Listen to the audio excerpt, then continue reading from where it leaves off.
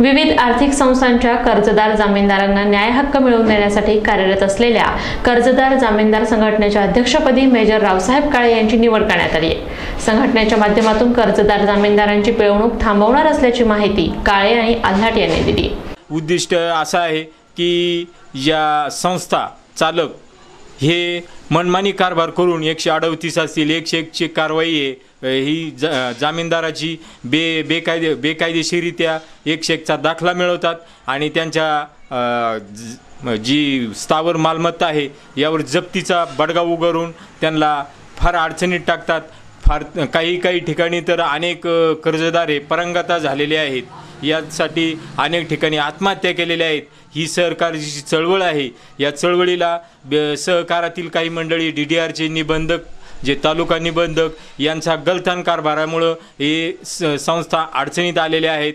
अडचणीत येऊन जे कर्जदार जे यांना पिळवणूक करण्याची त्यांनी सुरुवात केलेली आहे. यासाठी आमची जी कर्जदार जामीनदार जी संघटना आहे ही यासाठी त्यांच्यासाठी हा लढा उभारलेला आहे. यात कोणी जर ग संस्थेला जर पाठी पाठीशी घालून जर बेकायदेशीरित्या जर कर्जदार यांच्याकडून वसुली करीत असेल तर हेही खपून घेतलं जाणार नाही. बाकी त्यांची जर जप्ती अन्य काही असेल यामध्ये कुठल्याही प्रकारची जर धाक दडपशाही पद्धतीनं जर ते दाखवत असतील तर आम्ही त्याला तशा पद्धतीने उत्तर देणार आहोत. ज्या सर्वसामान्य व्यक्तींनी पतसंस्था किंवा बँकेकडून कर्ज घेतलेलं आहे आणि ज्या बँक आणि पतसंस्थेने त्यांच्या अशिक्षितपणाचा किंवा त्यांच्या गरजेचा गैरफायदा घेऊन आवाच्या बावा त्यांचं व्याज आकारणी केलेलं आहे आणि त्याच्या संदर्भात त्याच्या विरोधामध्ये आज पतसंस्था बँका कर्जदार जामीनदार संघटना.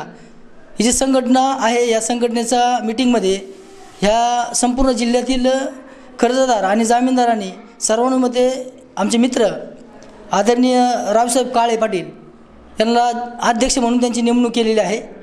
तर येणाऱ्या काळामध्ये सर्वसामान्य व्यक्तीला न्याय देण्यासाठी सर्वसामान्य व्यक्तीच्या गरजेची गैरफायदा ज्या ज्या पतसंस्थेने घेतला असेल ज्या ज्या बँकेने घेतला असेल त्यांच्या विरोधात हा लढा आहे.